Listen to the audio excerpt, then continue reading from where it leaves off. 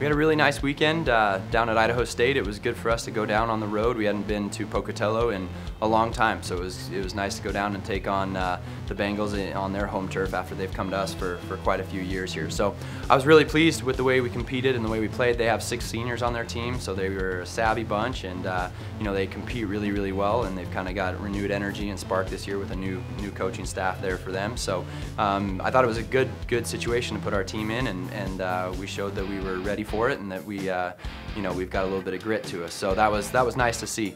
Um, we mixed up some of the doubles combinations. That was uh, that was interesting for, for us as a staff and as a team to see, and we're still kind of trying to find where our uh, where our strengths are going to be in that lineup. So we're we're having fun. The nice part is we've got a lot of options, a lot of good doubles players, and the system is uh, it, it's all fitting together fairly well.